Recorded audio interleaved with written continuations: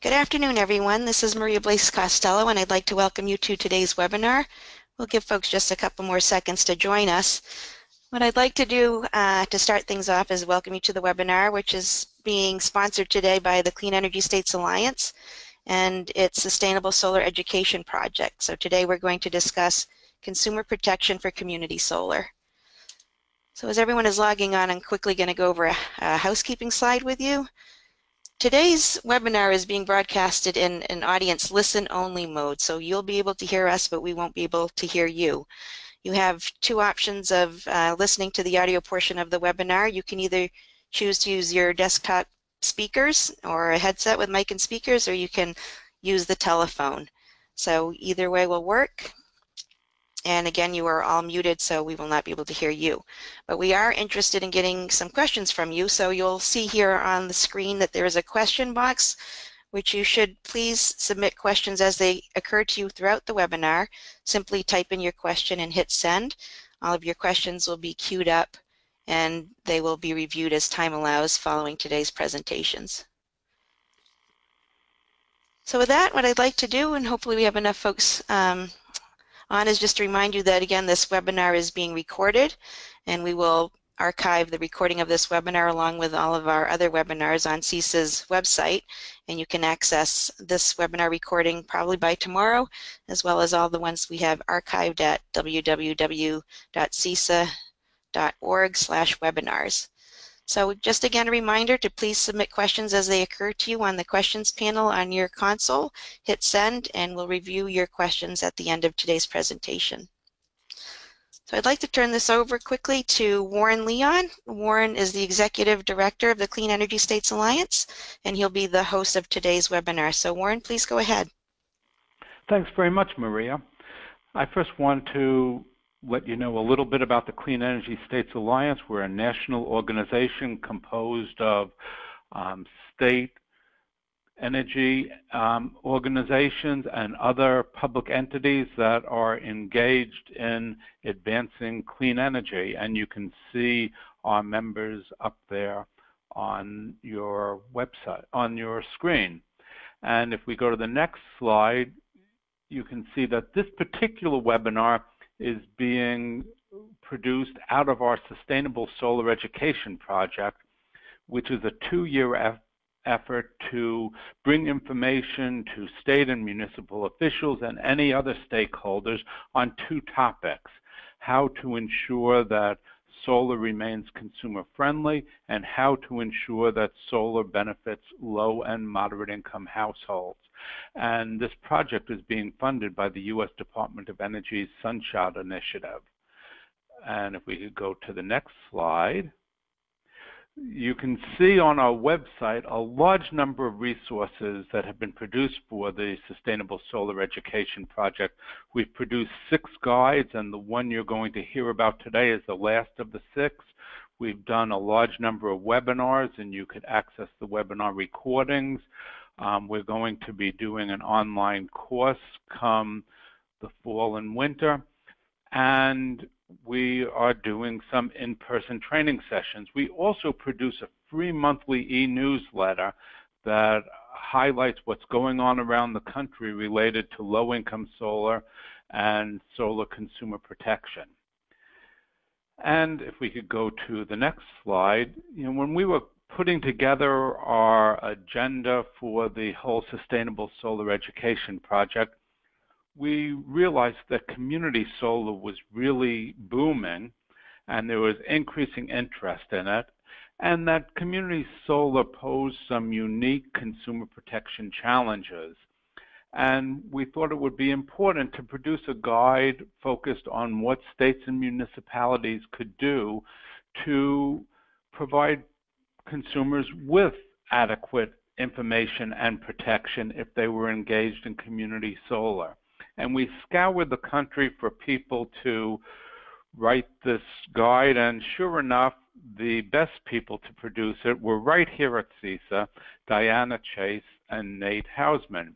Diana Chace is a program associate for CESA, um, and she focused primarily on solar.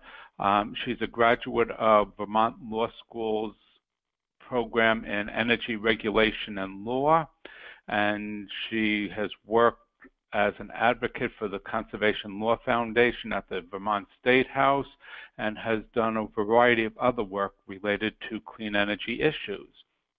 Nate Hausman is a project director for CESA and in particular is project director for the Sustainable Solar Education Project.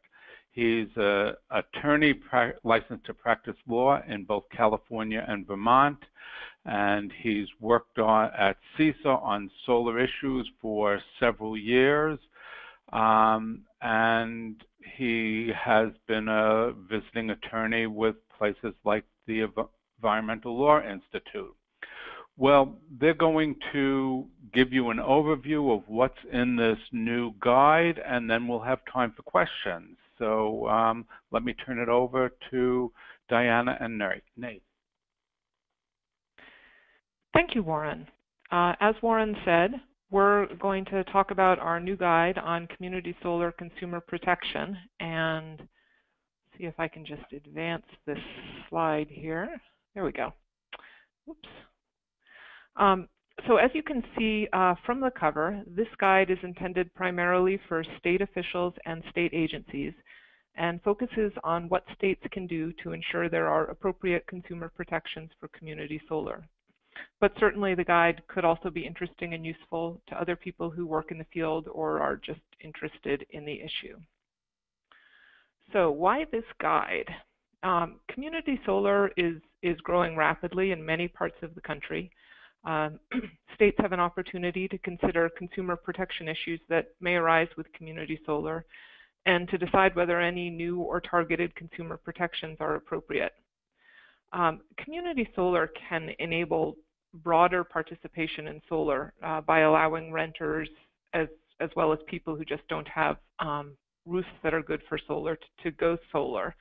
And the economies of scale and, and relative simplicity of construction of community solar projects um, can help to accelerate the adoption of solar and provide benefits um, to both to individuals and to their communities, uh, as well as the world as a whole.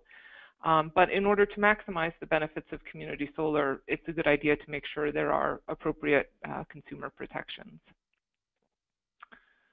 Um, you might think, well, we already have rooftop solar and that's working pretty well, so why do we need to do anything different in terms of consumer protections for community solar? Um, here are some of the important differences between rooftop and community solar that can affect the need for consumer protections. Uh, first of all, rooftop solar is more concrete and community solar is more abstract in terms of the customer relationship with the solar panels. Um, rooftop solar is more established and familiar, and community solar is newer and less familiar. Rooftop solar involves long-term commitments community solar uh, sometimes involves long-term commitments, but sometimes involves short-term commitments. And rooftop solar um, is, is only available uh, to homeowners who have suitable roofs, and community solar can be more broadly available um, in the sense that where programs exist and there is sufficient capacity, um, renters and anyone who doesn't have a suitable roof can sign up. So what is community solar? Um, there is no universally accepted definition of, of, what community solar is. What we give here is, is the definition um, we use in our guide. And also the term, the term shared solar is sometimes used to mean the same thing. Um, we define community solar as a purchasing arrangement in which multiple customers share the electricity or the economic benefits of solar power from a single array. An array large enough to serve multiple customers is built in a single location, and individual customers sign up to own or lease parts of the array or to purchase or be credited for some portion of the electricity generated by the array. And this is important.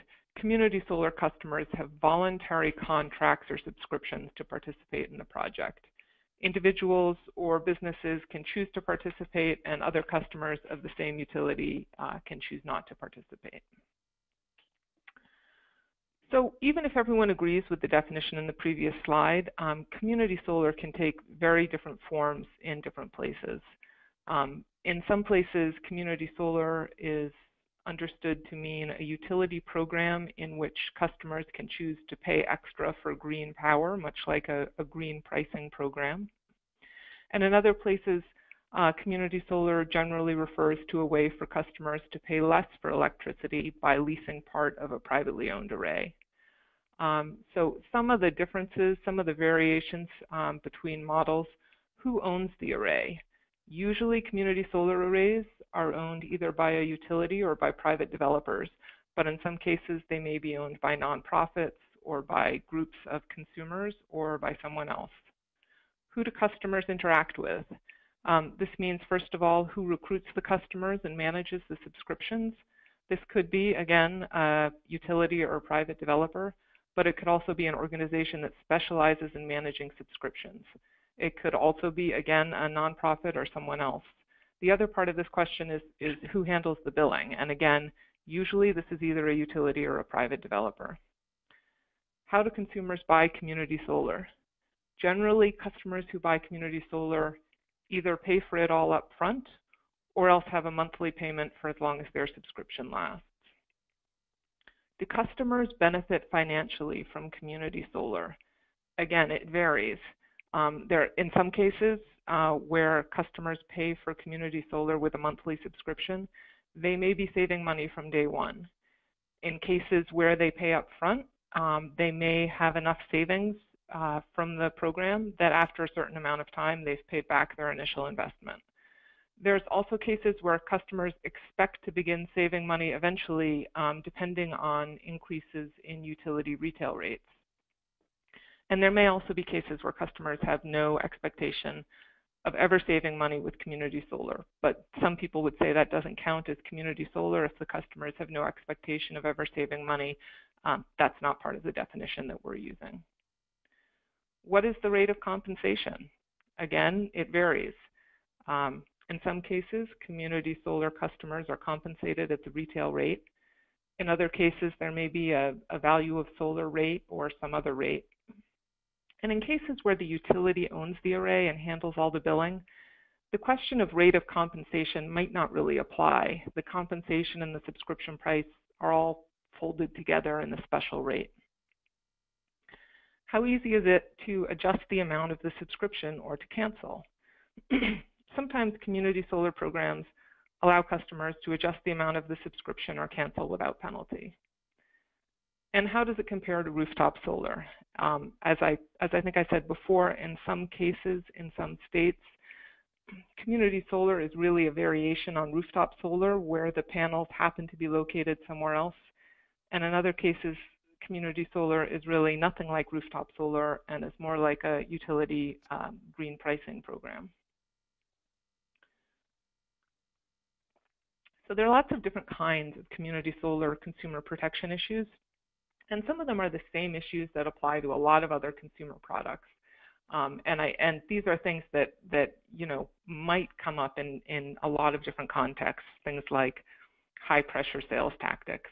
Um, and then there are other issues that apply both to rooftop solar and community solar, though maybe more to one than the other. And these are quest- these are issues like um, confusion about renewable energy certificates or understanding escalator clauses, things that are often part of solar contracts. And then there are a few issues that really are unique to community solar, um, like the one I mentioned earlier about whether customers are um, allowed to adjust the amount of their subscription during the course of the contract. And that's the kind of thing where states can decide if that's something they want to ensure that community solar customers have access to. So one of the possible consumer protection issues um, with community solar is, is simply um, product confusion, where the customer just isn't really clear on what they're buying.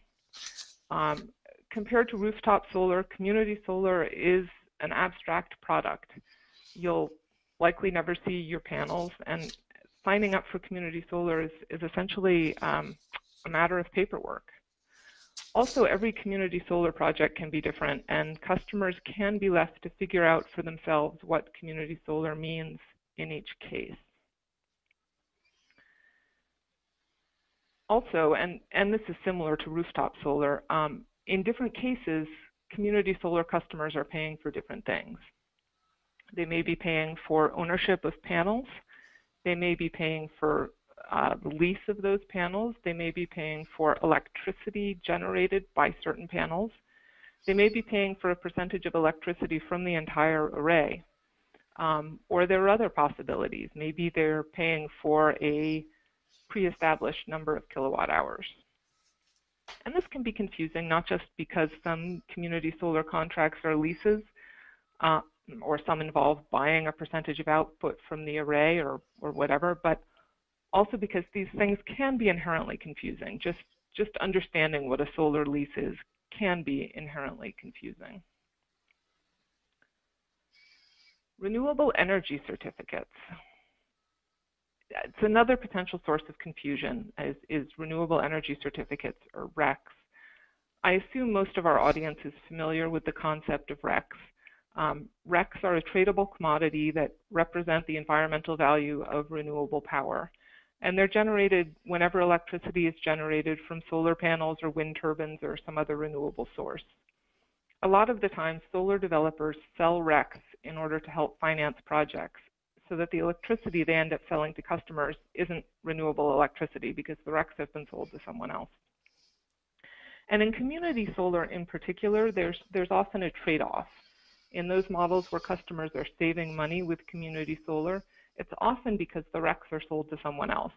And in those models where customers get to keep their RECs, they often have to pay a premium to participate. The real consumer protection issue here is that customers should understand what RECs are and why they matter, and should also know if the if the RECs have been sold to someone else. And there are you know good resources out there for understanding and explaining RECs. Um, the Center for Resource Solutions has some particularly good resources on that subject. So contracts can be confusing. Um, here are some of the questions that, that customers should think about when they're reviewing a community solar contract. Um, Nate will talk a little later about the disclosure requirements that have been adopted in some states to make sure these kind of contract provisions are, are clearly spelled out for customers. Um, but keep in mind that you know your contract may look different, um, and we're just highlighting some issues uh, to draw attention to them. So what is the duration or term of the contract? Community solar contracts can have terms up to 20 years or more. Um, many of them are much shorter. What happens to the contract if I move to a different house? Can the customer take the community solar subscription with them to a new home? Um, maybe in some cases that's possible only if they're within the same utility service territory. Do I have the right to terminate the contract without penalty either within a certain time or at any time? Is a sign-up fee or deposit required? And if it is, is the sign-up fee additional to the upfront payment or the monthly payment? And will the sign-up fee be refunded if the project is never built? Developers often need a deposit um, before they construct the project. So if the project, for whatever reason, never gets built, does the customer get that money back? What happens if the community solar array goes down or is taken offline? Will the customer be notified if the array is offline? Does the contract include a production guarantee? So if there's a particularly cloudy summer and there isn't a lot of uh, electricity generated, will the customer be uh, made uh, made whole for that in some way? Does the customer own part of the array? Um, most of the time with community solar, customers do not actually own the panels. In some cases, they do. Um, it's a good thing for the customer to know. And will they be able to take advantage of state and federal solar incentives, or will those go to the project owner or developer? And this refers to things like the federal um, investment tax credit, which is such an important part of financing many solar projects um, it, it often depends on, on, at least in part, in whether the customer actually owns part of the array. If you don't own the array, your chances of being able to take advantage of these kind of incentives are very low. If you do own part of the array, you may be able to take advantage, but um, it's a very complicated issue and people should certainly be consulting their, their tax advisors about this kind of thing. what is the compensation rate for electricity generated from the project? Is that fixed or, or could it change perhaps based on regulatory actions? So if you start off um, in a program where you're receiving net meter compensation at full retail rate for the electricity generated, what happens if three years down the road the Public Utility Commission uh, changes the rules and abolishes net metering? Is that a regulatory risk that you're taking when you sign up for community solar? If you're uh, paying upfront, how much is the upfront payment? Does that include all fees and other costs? And how long will it take for savings to cover costs, also known as the payback period? And if you're paying monthly, is there an escalator clause that will make payments increase over time? Escalator clause is a is a thing that uh, customers are are often um, confused about, and it can certainly uh, make a big difference in in their financial uh, return on the project. What is the rate of increase, and and how much will the customer be paying each month by the end of the contract? Are there late payment penalties, and, and is it possible to downsize or upsize the uh, subscription after signing up? And I will turn this over to Nate now.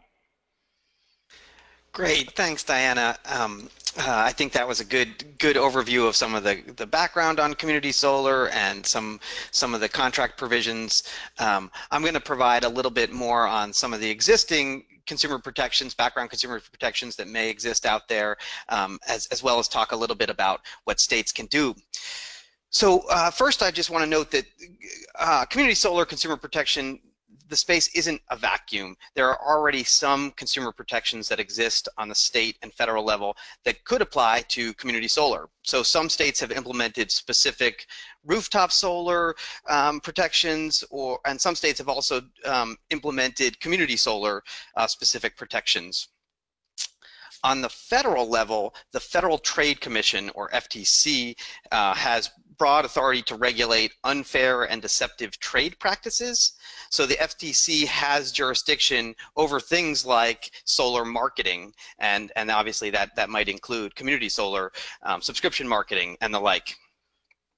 And it's important to note that the FTC has given some attention to, to uh, the solar industry. Last year, the FTC conducted a full-day workshop on competition and community, uh, excuse me, consumer protection um, issues as they relate to solar energy. As part of that workshop, the FTC actually opened a public comment uh, period, um, and and comments are available. You can see the comments that were submitted. Um, they're available to the public on the Federal Trade Commission's website. You can also see uh, video recordings of that of that workshop uh, on the agency's website as well. So existing, you know, I, I, I, I mentioned that there are some federal consumer protection laws that, that may apply. I'll let you read through this list of, of statutes on this slide, but I do want to say that uh, collectively, these laws regulate areas that may apply to certain aspects of community solar sales and marketing.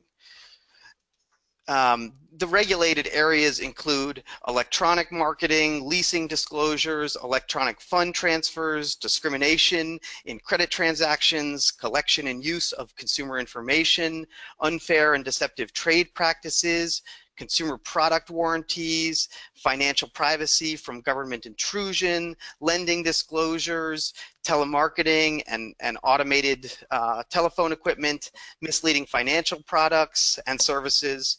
And uh, the Uniform Commercial Code is also listed on here, which regulates sales and commercial transactions. Um, actually, the, the Uniform Commercial Code is a model code that's adopted by states, uh, but it has been adopted by, by all states in, uh, in part or in whole. So.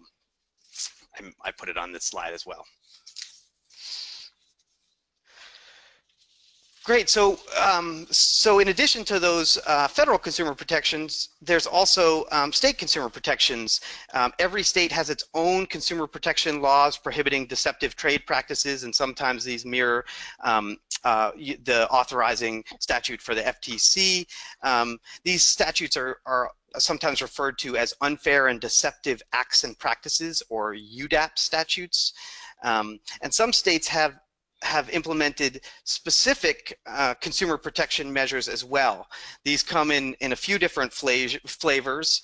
Um, states like Arizona and New Mexico have en enacted disclosure laws that govern rooftop solar contracts.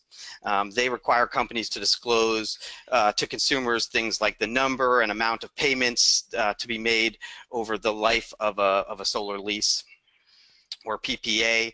Um, another flavor is um, disclosures for specifically for community solar.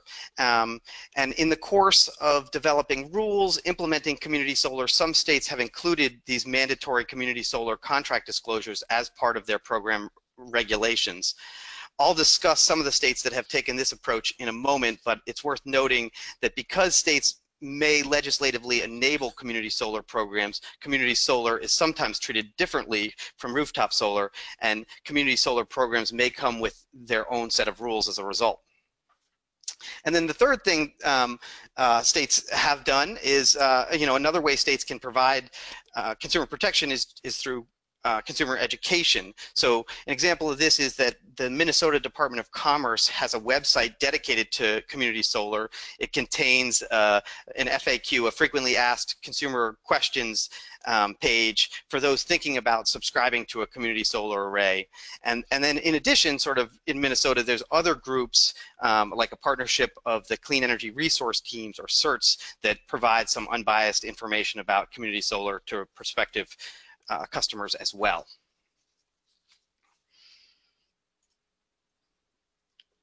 Great, so I mentioned I was going to uh, talk about some states that have mandatory disclosures for community solar. Examples of this are Maryland and Minnesota. Uh, Hawaii also has a proposed framework um, too, and I'll, I'll touch on that. So Minnesota's um, program requires community solar subscription to disclosures. I mentioned uh, Minnesota's clean energy resource teams already, or CERTs, developed. Uh, they developed a, a checklist, a, a, solar garden subscriber disclosure checklist, which includes a list of requirements that Minnesota community solar providers have to comply with the disclosures, we have uh, the full disclosures in our guide, but uh, uh, the, I'll just say that the, the, disclosures include a description of all recurring and one-time charges and whether the charges may increase over the course of the service. They also uh, require a description of the conditions of service uh, Maryland, uh, the Maryland Public Service Commission has adopted regulations for a community solar uh, pilot program that happened last year. This spring it began accepting applications from developers uh, and consumer contracts in Maryland's programs must contain uh, all material terms and conditions among other things that includes uh, the terms under which the pricing will be calculated over the life of a community solar contract and a good faith es estimate of the subscription price expressed as a flat monthly rate or on a per kilowatt basis. And then also, I noted, um, I'll note that the, the Hawaii uh, PUC, Public Utilities Commission, has, has a proposed framework for the state's community solar program there. That's called the Community-Based Renewable Energy Program. Uh, it's it hasn't been finalized, but uh, the framework includes a program disclosure checklist and subscriber agreement uh, for each subscriber, quote, to ensure appropriate consumer protection and that the subscriber organizations have adequately informed prospective subscribers on important programmatic considerations. So again, a full list of those of those disclosure requirements uh, are included in in the guide, but a lot of them include some of the contract provisions that Diana mentioned earlier in the webinar. So if you're a state um, uh, thinking about consumer protection for community solar, what are some things you might think about? Well, there's a few questions that you might uh, think about sort of as, as, a background to, to the kinds of, uh, in thinking about the kinds of consumer protections you might want to implement. So, you know, one question is how big is the community solar market and how quickly is it growing in your state? Consumer protection may be most pressing in areas that are experiencing the greatest, the greatest community solar development. Another question you might ask is what consumer protections already exist? This is sort of self-explanatory. Um, you know, what what protections has the state already does the state already have in place? How do consumers benefit from community solar?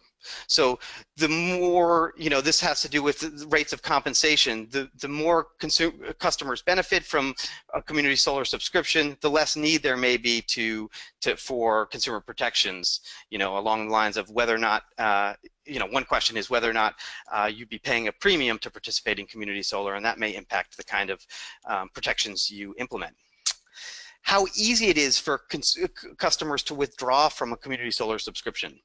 In places where customers make long-term commitments, states may want to may want to think um, a little harder to to ensure that customers are well informed before they sign up. Another question um, are what what are the state's goals for for for community solar? Um, some states have aggressive renewable portfolio standards or, or, or goals for, for solar more broadly, if those uh, you know, if that's in place, you, you, you know, the state may want to consider um, more con consumer protections, or if a state has a particular goal for increasing solar access, for instance, for lower and moderate income individuals, um, that may require different kinds of consumer protections. And then another question um, uh, officials may want to ask are, are is, is a state agency uh, already getting a lot of questions or complaints? States may want to check with uh, the, eternal, the Attorney General's office in their state to learn whether the AG's office has already taken solar-related enforcement actions or to evaluate how actively the office is, is asserting itself in, in, regulation, in regulating solar.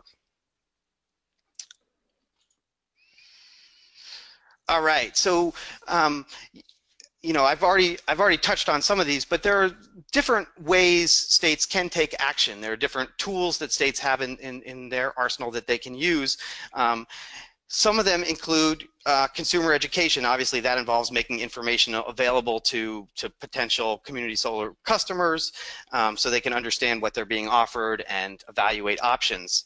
Um, you know, uh, Warren will, I think, cover this at the end of the webinar, but the Clean Energy States Alliance has a guide uh, that's really focused on solar information for consumers and what states can provide along these lines. Some information in there may be helpful. I already mentioned Minnesota provides some information on its website about community solar. That's an approach um, certainly states can take. For you know, uh, it may be helpful to provide a, a, kind of comparison for customers between rooftop solar and community solar, or a kind of comparison about how compensation rates are offered. Those are the kinds of uh, education tools that states can provide. Um, guidelines and, and regulations. Guidelines are generally voluntary. Um, uh, regulations uh, binding. If a solar program uh, has a part of it is, an essential part of a solar um, guidelines for guidelines can effectively become mandatory. Um, and then in addition, it's it, there's certain grievance procedures and enforcement. Um, you know, the effectiveness of any sort of rule depends on how whether or not it's it's enforced. And uh, and one state, one mechanism states can use to enforce laws on businesses is licensing. In states where a business such as a solar in installation requires certain licensing, violation of rules can be grounds for revoking a license. This, this effectively gives states some enforcement leverage. Um, and then, you know, Maryland's community solar program, for instance, has an embedded path of, of recourse for, for customers that have had issues when a violation of the state's community solar regulations, uh, when a customer alleges a violation, um, there's a particular uh, commission, the Office of External uh, Relations, that can provide a, a refund for any unwarranted fees or overcharges.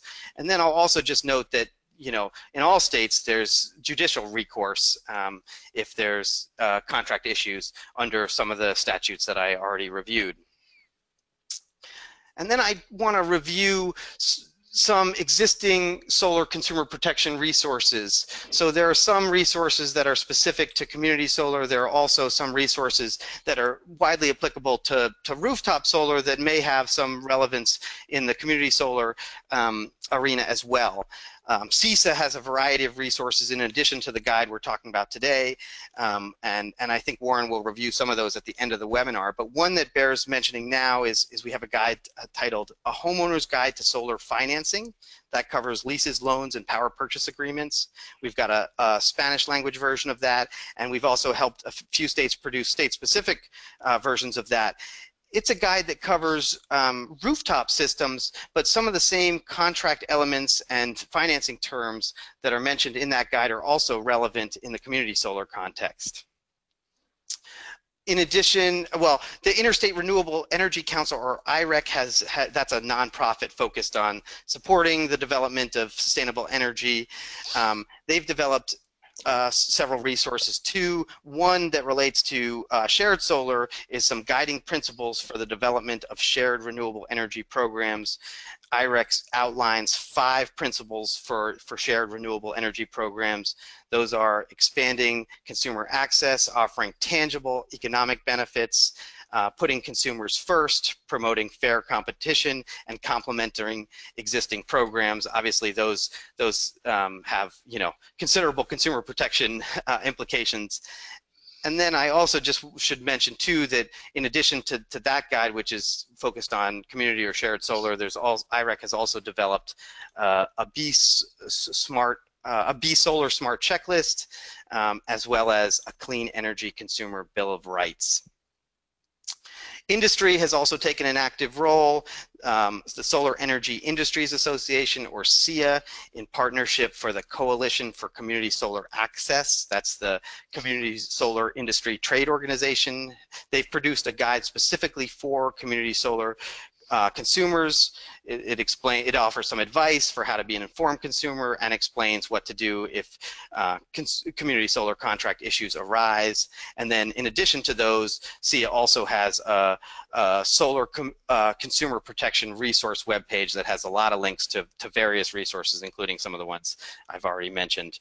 Um, and then Diana already mentioned the Center for Resource Solutions. Uh, they have a, a lot of resources on RECs and renewable energy marketing claims, including guidelines for, for, for, for RECs, as well as best practices uh, in public claims for solar PV systems. And then just sort of a final afterthought before we, we turn it over and take some questions. I want to mention that um, there it is. I want to mention that community solar projects may be subject to financial securities laws. In most cases, security compliance is less of a direct concern for the community solar customers than it is for project developers.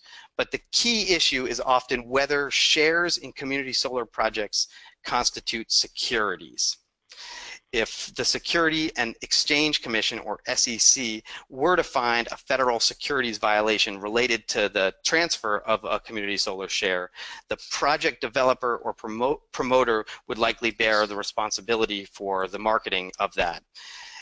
Um, the issue, it's an, you know, as I noted, it's an important issue for community solar developers to consider, but it could become a, a consumer protection issue if an if an enforcement action would result in the halting of uh, project development project development after a customer has already signed up for a contract. So it's sort of more um, an issue on the community solar developer side, but I but I mention it here, and it's also mentioned and discussed in in much more detail in an appendix to to the uh, community solar guide we've produced so with that, I think we'll turn it over. I'll turn it back over to Warren, and we'll um, we'll take some questions. Hey, thanks very much, Nate and Diana.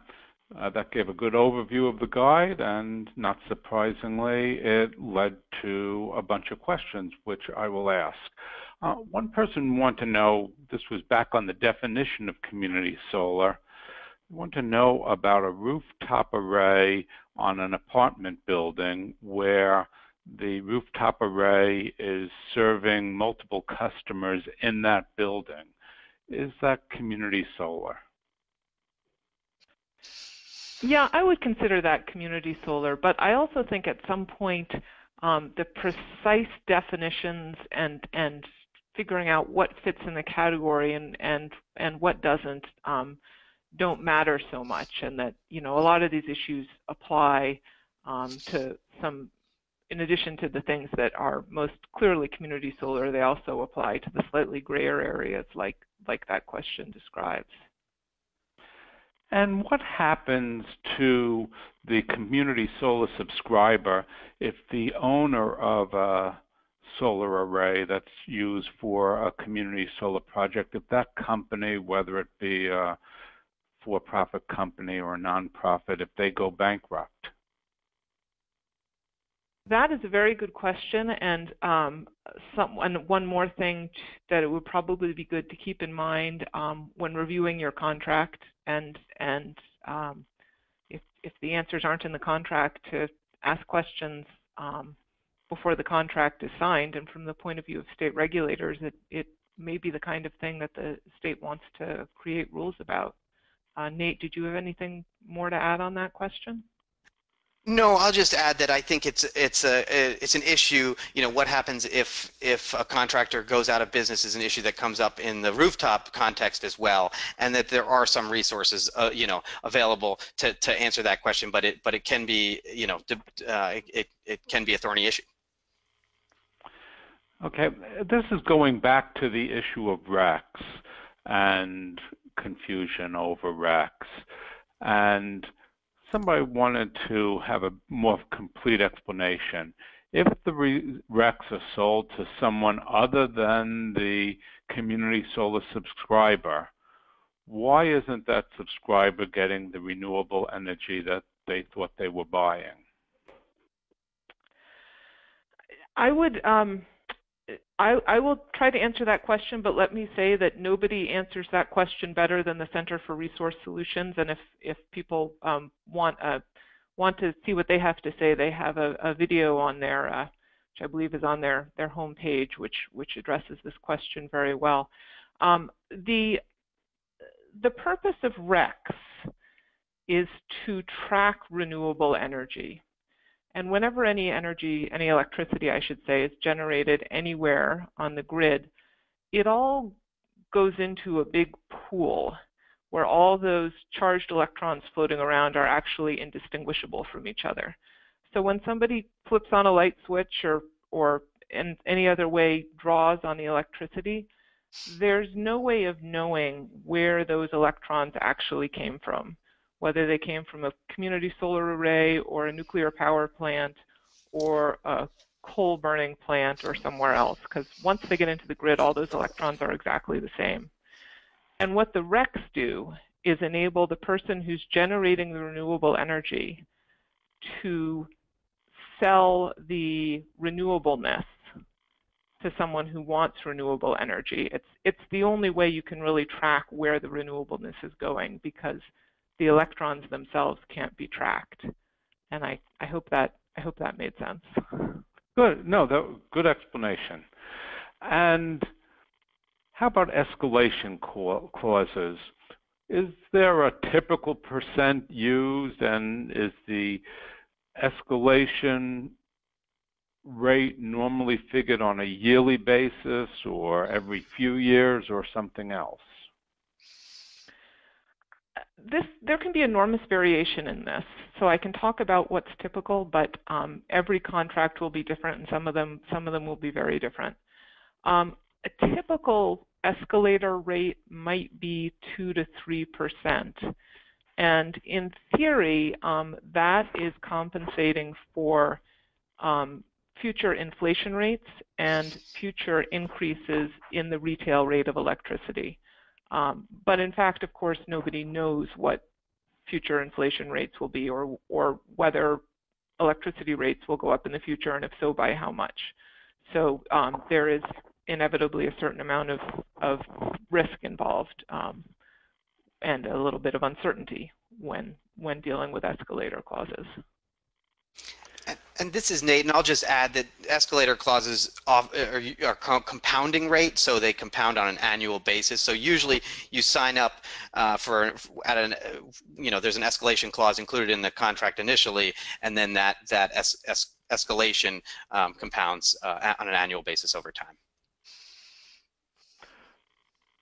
One person writes in saying that Many community solar contracts are very lengthy documents with a lot of fine print.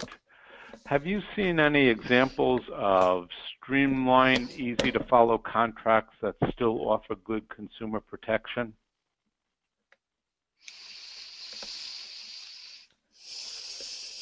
Nate, do you want to address that? Yeah, I, I will try. Um, the the short answer is, you know, I don't know. Um, the short answer is, is that, that I, I don't know. Uh, I know there are some, some sort of contract templates out there that exist. Um, in terms of ones that, that provide information up front, you know, I would look to, to some of the states that have required uh, community solar consumer protection disclosures um, because I think some of the companies operating in those states are very familiar with providing some of those upfront, um, you know, contract language. So again, I, you know, I mentioned uh, uh, Maryland is an example, Minnesota as well. Minnesota's program is pretty unique, but um, but those are states where where you might find um, a, a, particularly robust uh, contracts because there's some uh, regular, you know, regulatory uh, might behind them. Can you explain in more detail how the um, SEC would get involved, the Securities Exchange Commission would get involved? What would trigger an investment issue for them? Yeah, this is a very uh, complicated area. Essentially, there's a, a, a court case, the How, Howey court case that governs whether or not an interest uh, in any kind of financial arrangement uh, constitutes a security.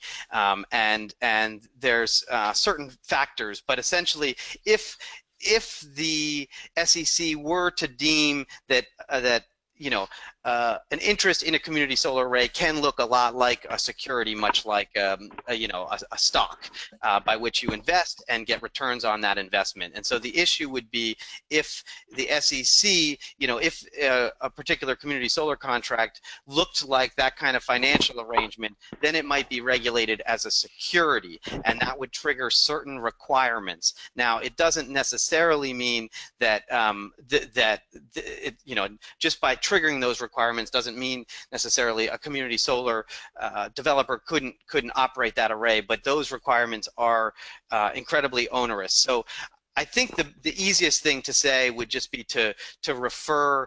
Uh, this isn't a cop out, but I think the easiest thing would be to look at the appendix that that looks out looks at um, SEC regulation and securities regulation in the guidebook itself.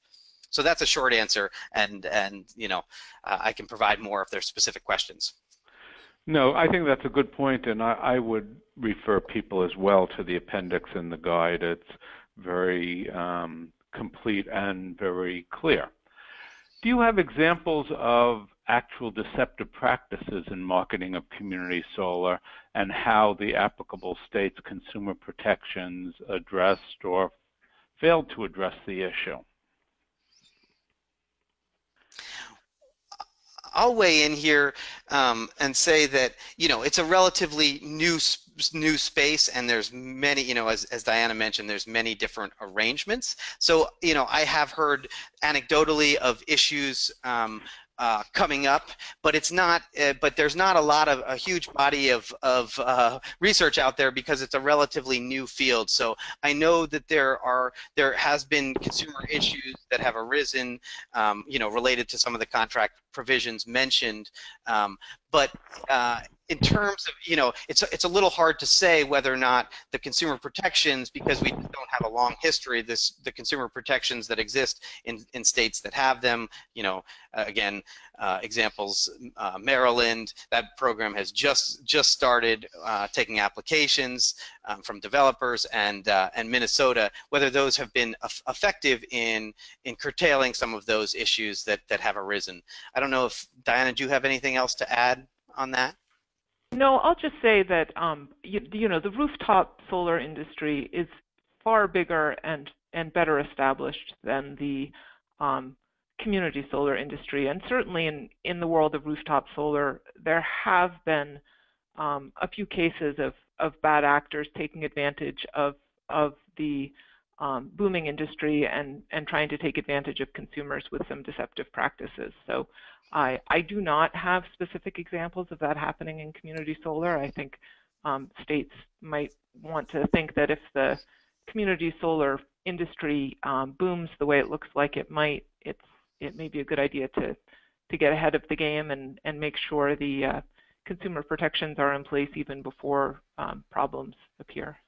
Yeah, and, and actually just one more um, afterthought on that on that point as well. I mentioned that the FTC has been active in the solar space um, with respect to you know regulating um, unfair trade practices and, and, deceptive trade practices. Well, uh, you know they have taken enforcement action. In particular, it wasn't specifically in the on uh, related to community solar, but it did involve generating um, telephone calls, generating solar leads um, uh, for for people, and certainly that's the kind of issue um, that could come up. You know, those those kinds of issues could come up both in the community solar space as well as the rooftop solar space. So, um, so there have been there certainly have been issues uh, on on the rooftop side um, that that that could could come up also in on in the uh, community solar context. Somebody writes in about low-income solar and wants to know, are there special protections that should be considered for low-income community solar subscribers? Are there examples of well-designed programs for that market segment? And who would a low-income customer turn to if there were concerns about a community solar subscription? Low-income community solar is something that is getting attention in a lot of states right now, but but mostly in a very um, early way. They're very early in the process, so there's not much of a of a track record of this. There are a few states that have begun trying to uh, implement low-income carve-outs in their community solar programs. Colorado is probably the first, but overall, it's it's it's a new field. As far as special consumer protection issues, um, one issue is that most of the time when a person uh, decides to go solar, and this would apply both to rooftop solar and community solar, there's a certain amount of financial risk involved um, that they may expect to save money. It may be a situation where they probably will save money, but it's not guaranteed that it's going to turn out that way um, maybe because of some regulatory action um, down the road where the Public Utility Commission alters the compensation rate, or maybe because retail electric rates don't go up the way they were expected to, so that solar doesn't turn out to be so, such a good deal comparatively as they expected. Uh, but the point is that for a low income person who has um, less of a financial cushion, those risks can be more important. Um, and since community solar um, is often thought of as something that can make solar more available to low-income people, for instance, because they're renters, uh, those issues of financial risk may need some some special attention um, in community solar.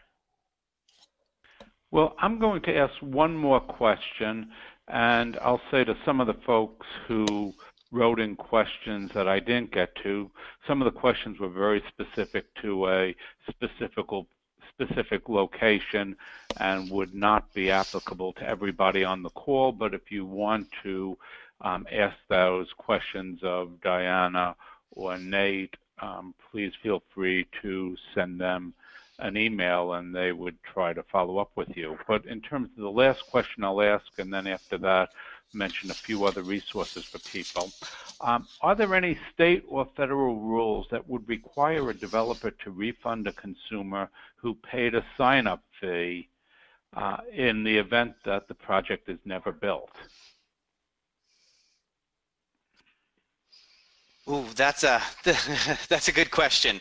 Um, you know, again, the, the the short answer is is that um, it's it's I don't think that's there's a there's a, there is a clear answer to to that question. There are certainly uh, you know depending on the circumstances, um, some laws that that that could apply in certain contexts, um, but I'm not aware that there's sort of any blanket law that would cover all contexts. You know, it would depend on, uh, you know, it could depend on contract law and the specific uh, contract that was that was signed and and and and what those contracts said. Which is again why it's so important to to for consumers to read through those those contracts, and that's why it's it's sort of I, I think states may want to consider providing information about some of the the the issues uh, that that can can arise with with contracts like that. So there may be some uh, uh, statutes uh, that exist, but it also may be a function of contract law and and be specific to the specific contracts that that were signed. So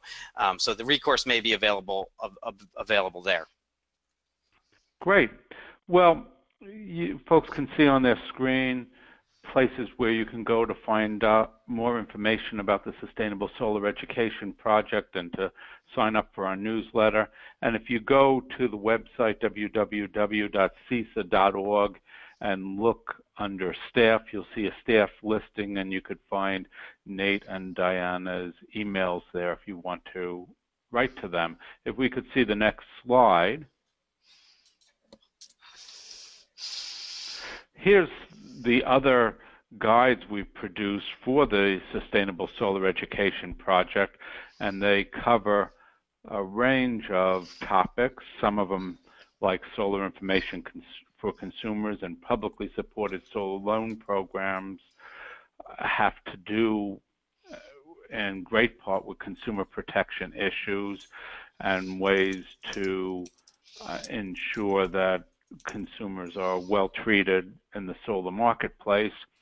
Uh, another one on standards and regulations for solar equipment installation, licensing, and certification that also is a way in which states can ensure high standards for solar installations, high standards for the people who install solar, and high standards for the equipment that's used.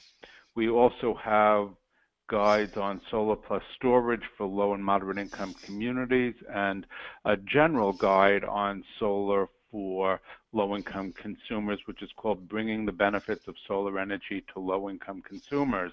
I'd encourage you to look up all of those. We're going to be having other webinars in this series related to the Sustainable Solar Education Project, and um, we'll let you know about them in the future. You can see Nate's email address here. I will mention to you finally a different webinar that's coming up next week, which CESA is doing. It's not on solar uh, directly, but it will be relevant to many of you, I suppose. And this is a webinar on the topic of what happens when renewable portfolio standards max out. Many renewable portfolio standards are reaching their, or will reach their highest target in the next few years what does that mean for the future of the renewable energy market in those locations? What can states do to ensure that there continues to be a vibrant market in those states for renewable energy? Well, I would like to thank all of you to, for listening to the webinar today, and I especially like to thank uh, Diana and Nate for their good presentations, and we look forward to hosting you on future webinars. Thank you.